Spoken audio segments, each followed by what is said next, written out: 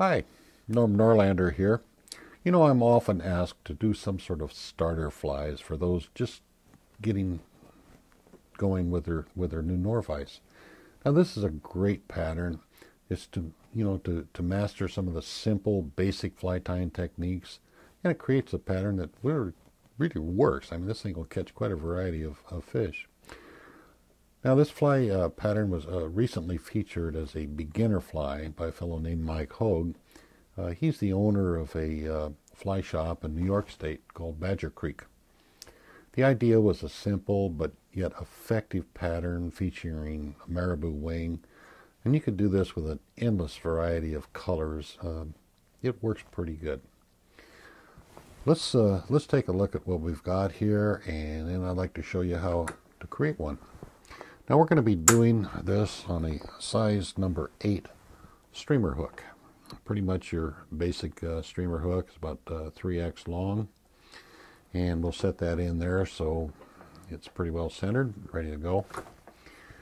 I'm going to be using some black thread. It's just 6-aught thread. We're going to start up here at the front by leaning down our, our foundation. Now leave a little bit of room between the eye of the hook and where you start the thread. It's pretty important. Okay, so we're going to lay that thread base down. You can just give the vise a spin if you want to go beyond the point of the hook. Just reach in here with your bobbin and keep on going. I'll come back a little ways. We're going to put a red tail on this. We're going to use the uh, one of these uh, red feathers here. The ones along the side, uh, like this, these are called spade hackles, and they're different than the ones in the middle. Those are the little dry fly hackles. Spade hackles are much wider uh, if you see the, uh, the fibers on here are quite long. Works great for making tails. Okay, so what we're going to do is we're going to strip off a few. You just grab them here, like so. Yeah, that's about right. Now swing around, hold by the tips. Okay, we want a tail that's about half the length of the body. So we'll start up here with a just a soft loop and then you just spiral back like so. Work your way all the way to the back of the hook. There you go. Just perfect. Next we're going to lay in a piece of mylar tinsel. Now most of these tinsels uh, like we have here are two-sided. One side's gold and one side's silver. So you only have to buy one spool of tinsel you got it covered. Clip off a little piece. If you want the rib to be gold, we'll lay tie it in with the silver side up. Uh, you'll see real quickly that when we start to wrap that, it flips over. So we've tied in our tinsel. This little spring, that's called a garter spring, uh, that comes on your Norvise, and that'll keep your uh, ribbing material out of the way. So now you can run that forward, and you can see how everything's laid down nice and smooth and tight. We're going to use dubbing for the back end of this thing. And uh, what I've got here is, uh, this is a, a rabbit fur. It's got a little bit of Antron mixed in with it. You really don't need that, but uh, yeah, it gives a little sparkle. So take a little pinch of bunny fur out of the box like this. Now to start your dubbing, hold it right up here at the eye of the hook. Don't try to start it out here, but right at the eye of the hook. You'll catch a few fibers like this. And then you just feed it onto the thread. You see how nice and easy that goes on there?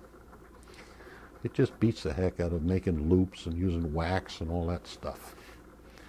Now you pick up your dub thread here and we'll just, I'm going to use my uh, little turning arm there so I can work this all the way back to the very back of the hook into the gape of the hook. There we got it. And then we'll come forward like so. So you can see that most of the body there is going to be nice bright yellow uh, rabbit fur. If you want a little bit more, pretty easy. Just take a little bit more dubbing like this and repeat the process. Just spin it on. Pretty easy. And then we'll just take and roll that right on here. So now we've got about two-thirds of the uh, length of the hook covered with yellow dubbing. Next we're going to put our rib on there. So we pull this out and you just hold this and now when you turn it the gold side will be up pretty slick huh you practice that a little bit, you'll find it's really easy to do. So you get a nice, smooth, even rib. Clip that off of there. On the front half of this little beauty, we're going to use some black dubbing right there. So again, I'm lay my bobbin up here. We'll take a little pinch of black dubbing like this, just like we did with the yellow. Start at the eye of the hook. You see how nice and easy that goes on there? Beautiful job. Okay, now see it kind of loosened up when I let go. If you want your dubbing tight, simply pinch the end, and when you spin your Norvise, see how it just tightens right up? You have those guard hairs popping out there. That's pretty slick. Okay, so we're right up there. Still have plenty of room to tie in our wing. Okay, now for the wing on this little beauty, we're actually going to use marabou. Uh, these are called blood quills. Now there's two ways of doing this. One is you can take and pull this down and use just the tips of the marabou, like so. I don't like that. It looks like a paintbrush up there. So what I prefer to do is I'll take and I'll strip the marabou off the sides here. Get a couple chunks like so. Doesn't have to be terribly even at this point. Okay. Now don't cut that with scissors. Take and break it off like this. Okay. Now, see you got a nice marabou plume there. About the right amount of feather. You want to lay this in so that these tips are pretty much even with the tail. Just come around here, make a couple nice firm wraps like so. You might want to lay in a half hitch there, and then you can pick up your scissors, and we'll trim that off. Okay, that's pretty good. Now for the over wing, I'm going to use uh, a little bit of black marabou.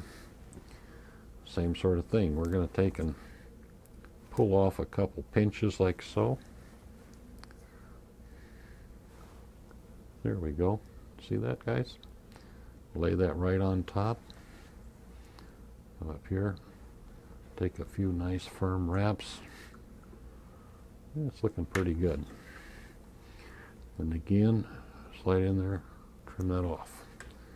Okay. Now, we want to put a head on there. Yes, I got just a little bit of quill sticking out there. Yeah, get rid of it. And I'll show you a neat trick. What you do is you take a little piece of rubber tubing like this and you leave that on your bobbin. Use that as a hackle guard. You can push that marabou wing back out of the way and now you can go ahead and finish up your head like this. You can spin it up with a vise or you can lock the vise in and do it manually, you know, whatever, how you, however you choose. Okay. There we go. Got a good firm head on that thing. And then we'll finish it off with a whip finish. Learn to do this with your fingers, guys. You can use a tool, I know, but once you once you've done that, it makes the tool obsolete. When you get through, you push that little piece of rubber tubing, that's your hackle guard. You just leave that on your bobbin all the time. Come off for thread. Okay. Now that's pretty good, except we want to use some head cement on it. Neat trick. Next time you get a chance, get yourself a couple soda straws like this. We'll cut a little piece of soda straw off of here. You push that over your fly. That'll keep that marabou out of the way. So now you can use your head cement uh, this is fingernail polish, uh, Sally Hansen. It's a, something most of the fly tiers like uh, to use as a head cement. Uh, works pretty good. And uh, so you put it on like so. Put the cork back in the bottle, guys.